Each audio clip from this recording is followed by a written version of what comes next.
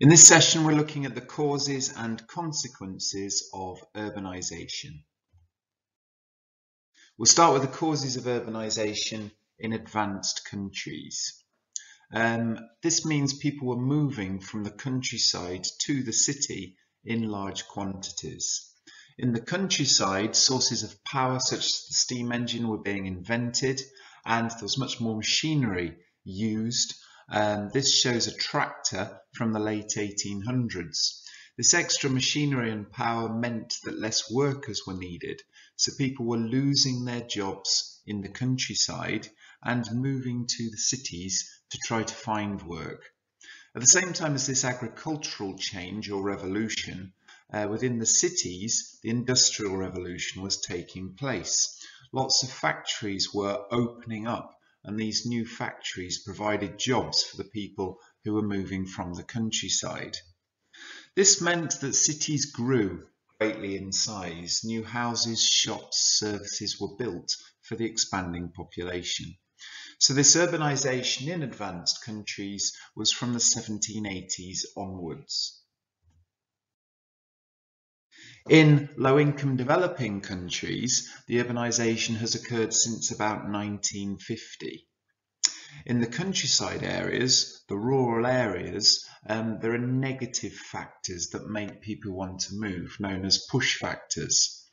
The first example we've got here is natural disasters. If floods or earthquakes or things such as that occur within the countryside, um, people um, their property will be damaged, they might have lost their fields or their farm equipment, etc.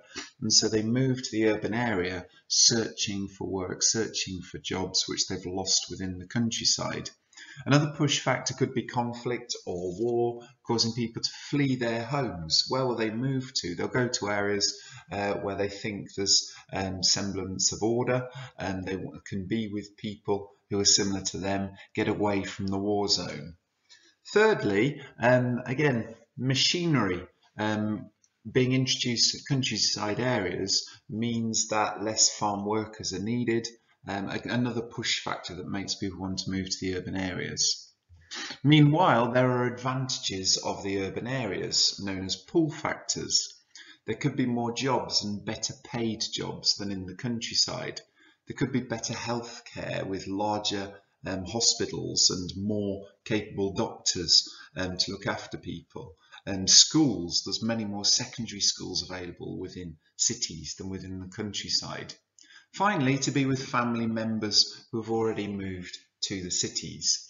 So these show um, migration, movement of people to the countryside, from the countryside to the cities, which causes the cities to grow. Another reason is internal growth. This is where more children are being born than people are dying. And it's because the people who are be, being moved from the countryside to the cities are younger people in their 20s and 30s. And this is the age range of people who will be starting a family. Also, within the cities, there's much better healthcare with many more doctors and hospitals. This reduces the death rate and increases the proportion of people living within the urban areas. This occurred from the 1950s onwards. Next, let's have a look at the consequences of the cities growing. We'll split this into four different categories. Pressure on resources, impact on the national, natural environment, pressure on human resources, and impact on quality of life. Will there be enough food? Will there be enough water and clean water at that? And will there be enough land if the city continues to expand? If the city expands, trees will need to be cut down in surrounding rural areas, um, habitats will be destroyed. Um, there might be more water and air pollution as there's more factories, industry and transport and there might be more erosion as a result of the city expanding. Will there be enough schools? Um, will class sizes increase if the city is expanding? Will there be enough hospital beds for everybody? Will there be enough housing or will some people be forced to sleep on the streets? And how can we keep a massive city of people um, clean? Finally, um, growth in the city may lead to unemployment. Um, there might be overcrowding and traffic congestion because you'll have the same roads but just with more people using them.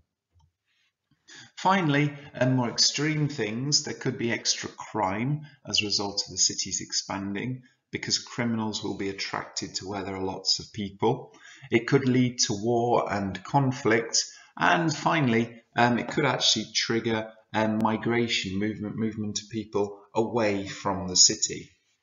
Now, the final consequence of urbanisation in LIDCs is shanty towns. Um, these are also known as informal housing, slums, squatter settlements, favelas, busties, and they have many other names. And this is where people from the countryside who lack skills and lack qualifications move to the city to try to find a job. But when they get to the city, um, they can't afford um, rent or they can't afford to buy a house or get a good job. So they end up building their own houses out of materials that they can find. So shanty towns um, are areas made of plywood, corrugated metal, sheets of plastic. They lack services, they lack toilets, running water and electricity because they're illegal. And shockingly, 1 billion people across the world live in these areas that they've built themselves. Um, here's an example of a house built out of materials that people can find. Toilets, um, often they are not around. Um, within Kibera, a shanty town in Kenya, it is famed for the flying toilets, where people um, will do their excretion in a bag and just throw it as far away from their shanty town house as possible.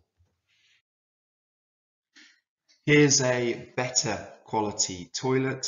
Um, within Dharavi, a shanty town within Mumbai, one toilet could be shared by about 500 people.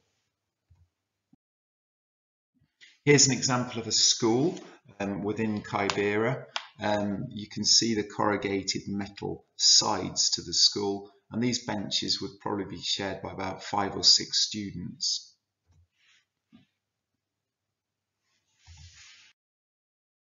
And work in these shantytowns is normal, normally in the informal sector. This means the government isn't aware of it, people aren't paying tax, and they're just doing any, any sort of jobs that they can find to um, survive. However, in some areas, the shantytowns are improving. Um, this is another photo showing Dharavi in Mumbai. And in this circumstance, the government has provided electricity um, to help the people.